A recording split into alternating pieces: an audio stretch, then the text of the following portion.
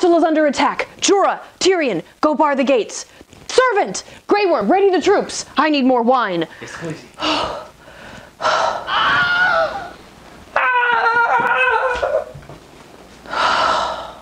We're gonna die.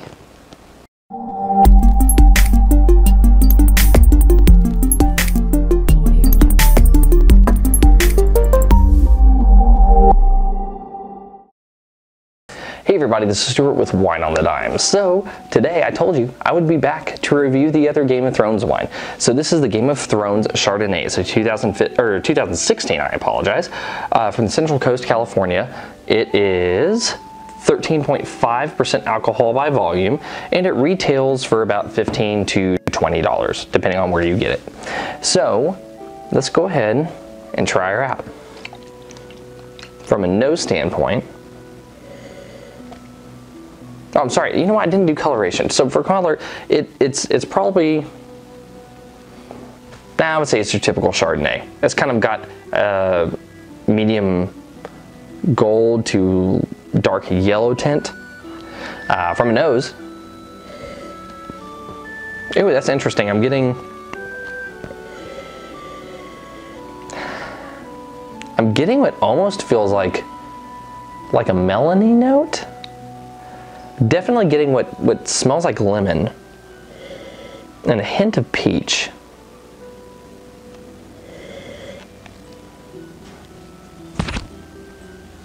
Yeah, I would say, I'd say lemon peach for sure. Maybe melon. I'm, I'm, I'm, I'm wondering if that's melon though. It could be something else tricky. Hmm. All right, so let's see what it is in the taste.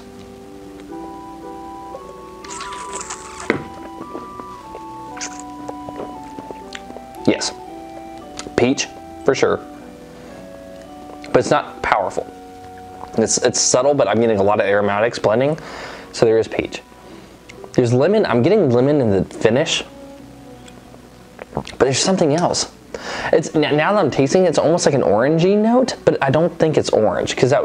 Uh, I'm not smelling orange, but it has another type of citrus element to it.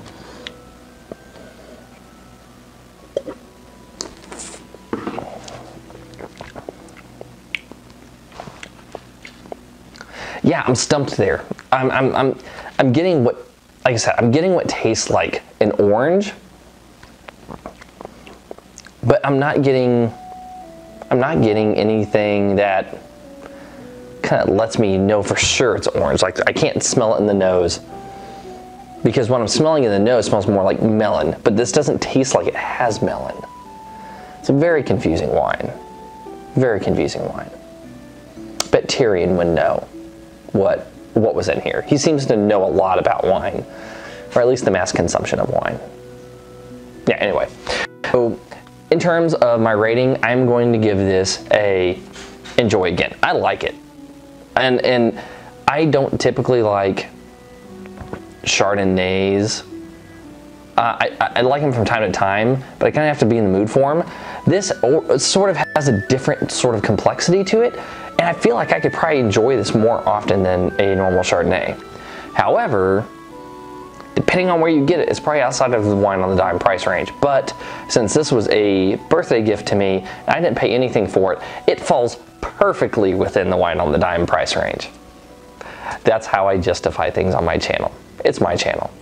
Anyway, this has been Stuart with Wine on the Dime. If you like today's video, please like, subscribe, and comment. Have you tried the Game of Thrones wines, either the red blend or the Cabernet Sauvignon or the Chardonnay? I'd be very interested to know what you think of them and if you would go and pick some up yourself or if they would be your drink of choice when fighting, I don't know, say the Unsullied or an army of White Walkers or dragons or any other other like millions of villains on Game of Thrones. So, yeah, just let me know in the comments below. And I'll see you guys again soon with another episode of Wine on the Dime. In the meantime, I am going to go prepare for the premiere and make sure my hair is on fleek. And yes, I just said that. And no, I'm not editing it out.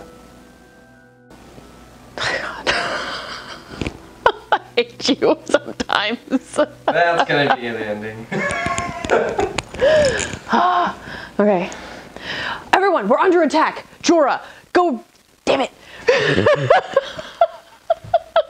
hate you so much. Jorah, bar the gates.